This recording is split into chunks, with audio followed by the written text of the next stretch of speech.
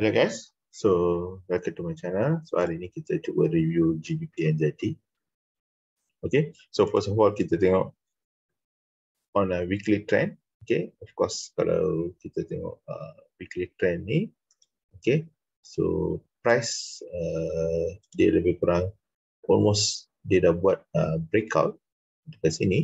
Tapi kalau dekat weekly time frame kita nampak uh, dia tengah approach lah almost dekat resistance zone, the previous resistance zone, which is uh, sitting almost dekat 2.05 ataupun just short of uh, shy of 2.04. So sekarang ni kita punya resistance zones uh, looking like around 2.04 to 2.05. Okay, level. So price sekarang ni kalau tengok kat sini we are looking at it almost at 2.04. Okay, so that's uh, uh, basically uh, kalau tanya dia duduk dekat uh, zone zone uh, resistance lah. Okay, so what's uh, next? Apa yang kita rasa? Okay, so for that uh, kita kena pergi dekat time frame yang kecil. Okay, so let me move uh, this screen. Okay, okay.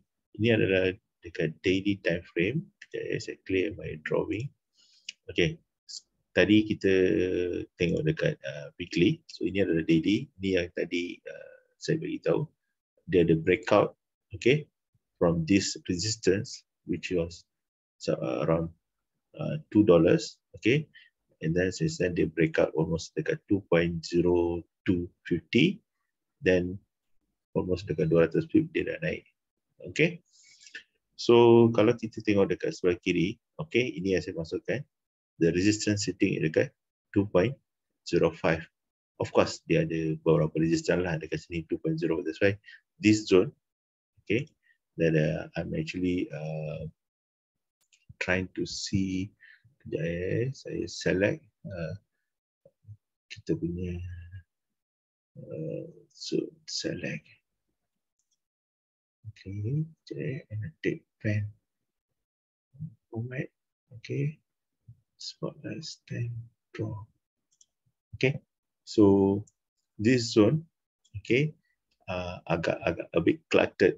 Okay, so of course previously dia ada breakout and then dia ada breakout ke bawah and then uh, dia macam zigzag lah. Okay, so kita tak expect this kind of a volatility dekat sini for this time. Maybe we might see some kind of a retracement. Okay, So that's what uh, I'm, actually uh, expecting.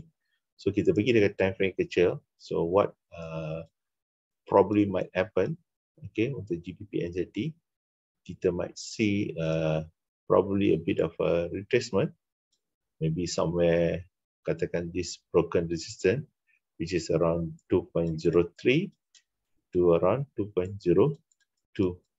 Okay, somewhere this one maybe dia buat macam ni and then probably create the base and then maybe try to hit this 2.05 ataupun 2.0550 okay so this might be the two zone okay yang zone ni lah might become a major resistance to break so having said that maybe kita akan ada uh, pergerakan ke bawah lah okay So ini adalah untuk GBP NZD.